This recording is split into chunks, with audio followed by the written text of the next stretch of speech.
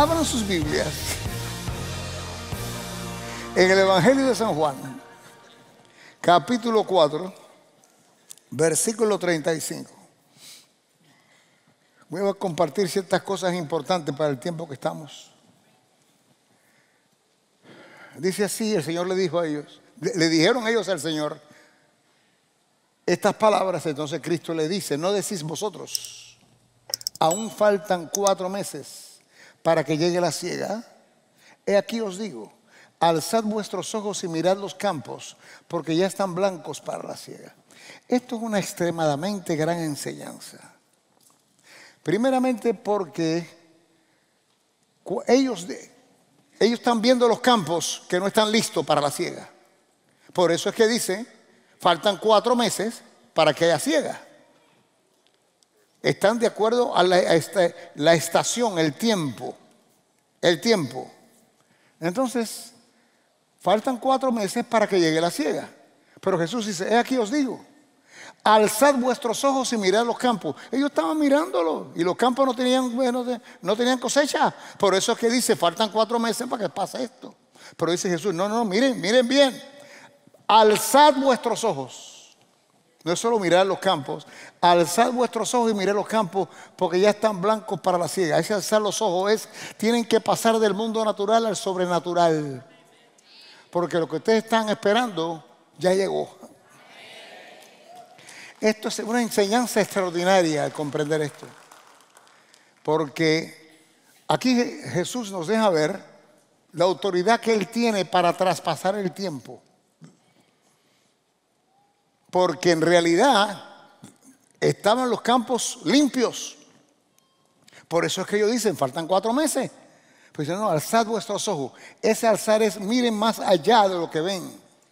Dejen que sus ojos espirituales vean lo que yo veo. Esto es extremadamente poderoso. Porque ya están listos para la ciega. En otras palabras, nos está volviendo a decir que nosotros tenemos, si queremos recibir, tenemos que previamente recibir. Mm. Si queremos recibir, tenemos que previamente recibir. Si queremos recibir en manifestación natural, tenemos que previamente haber ya recibido en el Espíritu. Tenemos que ver lo que no es y declarar que es nuestro. ¿Me están oyendo lo que hablo? Esto es de suma importancia para nosotros porque nosotros siempre estamos en la espera. La espera. Sabemos que algo grande va a pasar, ¿no es cierto? Algo grande viene. Pero es que no, pero ¿con qué intención digo yo que algo grande viene? Porque si yo estoy diciendo bíblicamente de acuerdo a los tiempos que estamos. Algo grande y algo bueno viene para el pueblo de Dios. Yo soy pueblo de Dios. Todo eso suena bonito, pero nunca va a llegar. Porque algo grande viene, quiere decir que es futuro y no viene, no viene. No. ¿Cuándo viene? Mañana, pasado, ¿cuándo? El año que viene. Grande, no viene. Viene, algo grande viene porque ya ha venido. Lo que viene es una añadidura a lo que ya hay. Quiero decirte que tú tienes que comprender que lo que tú estás esperando ya lo tienes y lo que va a venir es lo mismo más, en más nivel. Dar un aplauso a Cristo. ¿Me siguen lo que hablo? Los campos ya están grandes, ya están blancos para, para la cosecha. Ve, vaya cosecha, llena el cesto. Llena el cesto. ¿Qué están esperando? Tienes, claro, para esto tú tienes que comprender y reconocer y ya ser parte de ti el, tú, el reconocimiento de que tú eres un espíritu y que el verdadero tú está dentro y no afuera. Tienes que reconocer que lo de afuera no eres tú, tú no eres lo que tú ves, tú eres lo que Dios dice que tú eres. ¿Me entiendes lo que digo? Entonces, es importante este, este, punto, porque el que recibe es tu espíritu, no tú. Bueno, tú, el verdadero tú es el que recibe, no el tú que no es. Ay Dios. El tú que no es no recibe, es el tú que eres el que recibe. Y ese tú que eres que recibe exterioriza aquello que ya tienes, que lo que ya tienes, si tú caminas en el punto de que no voy a... Déjame, déjame darte un ejemplo. Ejemplo, hoy cómo pongo esto, fíjate. Una persona enferma o una persona que un accidente, lo que fuera, tienes tu cuerpo lastimado, tienes tu problema físico. Estamos esperando que Dios nos sane. Esperando que Dios nos sane. Pero en realidad ya yo fui sanado en la cruz del Calvario. Eso lo sabe todo el mundo, que es cristiano. Que en la cruz del Calvario Cristo pagó por mi enfermedad y por mi, mis pecados. Y eso yo lo sé. Bueno, entonces si yo sé eso, ¿cómo lo pongo en práctica? Tengo que creer que ya yo soy sano. En otras palabras, yo camino y soy sano, camino en sanidad. Si yo ahora hay una enfermedad sobre mí o hay una, una situación de accidente o que mi cuerpo duele por cualquier situación, yo no estoy buscando sanarme.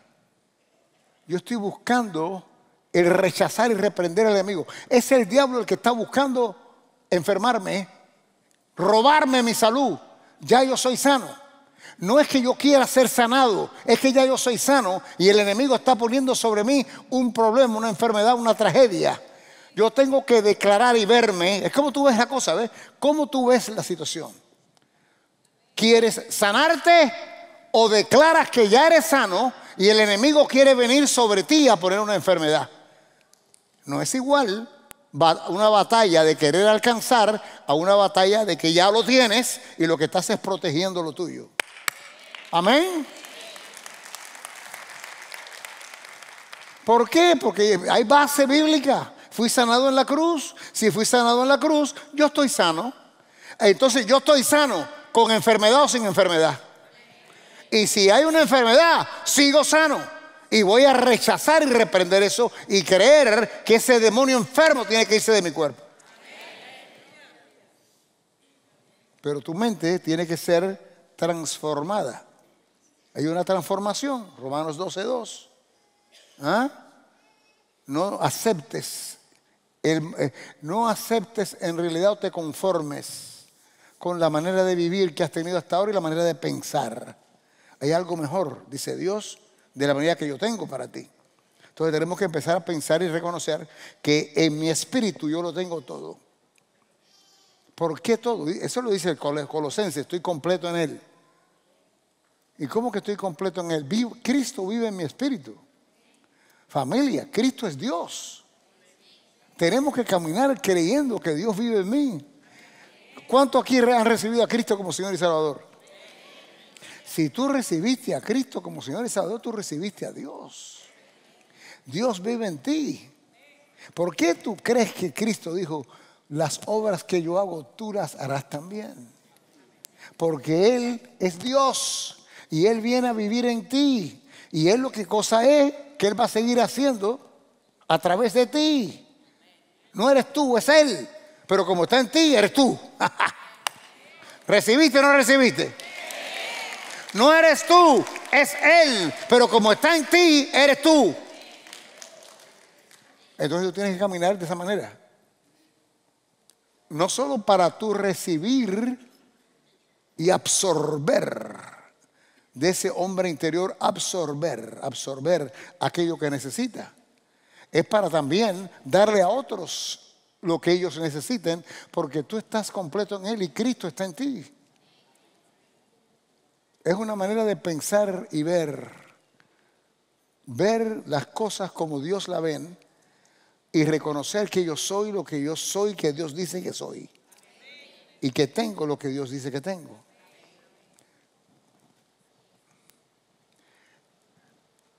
Las bendiciones te buscan.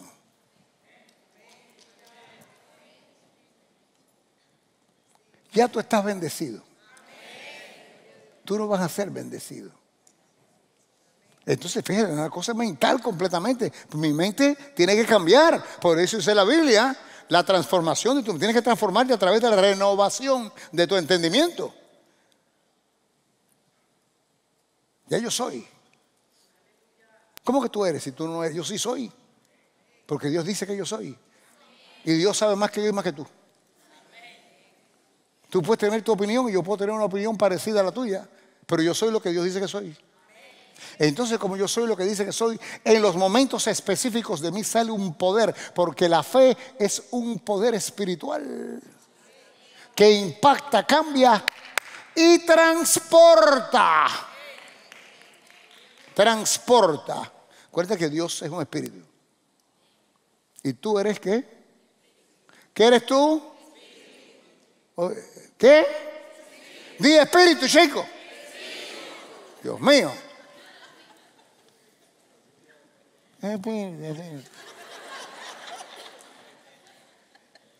No te voy a dejar, no te voy a soltar. Voy duro para ti.